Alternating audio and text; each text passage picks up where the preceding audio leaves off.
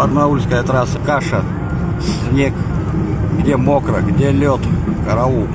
Трасса Барнаул-Рубцовск, видимо, одной из первых в крае оказалась под снегом. Водители делились эмоциями в соцсетях. Гололед, при этом метель, снежная каша. Утро понедельника. Это начало недели автомобилисты встретили неспокойно. В Романовском районе сообщают, из-за погодных условий около села Закладное перевернулся рейсовый автобус. В автобусе в это время находилось 9 человек. Двое из них пострадали, сообщают в краевой прокуратуре. Серьезное ДТП произошло в Троицком районе на Чуйском тракте по направлению Барнаул-Бийск. Подробности происшествия следствия уточняются.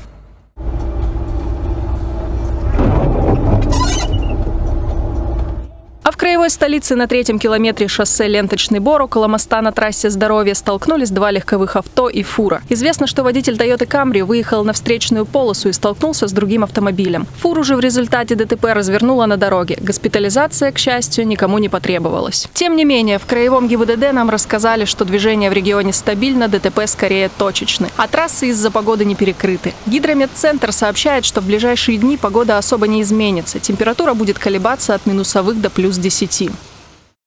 На ближайшие три дня будет преимущественно без осадков погода. Также по отдельным районам Алтайского края пройдут небольшие дожди и умеренные осадки в виде мокрого снега. Автоинспекторы предупреждают водителей, что в переменчивую погоду на дорогах нужно быть очень внимательным и аккуратным за рулем и по возможности переносить поездку. И еще одно напоминание. Сейчас уже точно пора переобуть свое авто. Юлия Щепина. День с толком.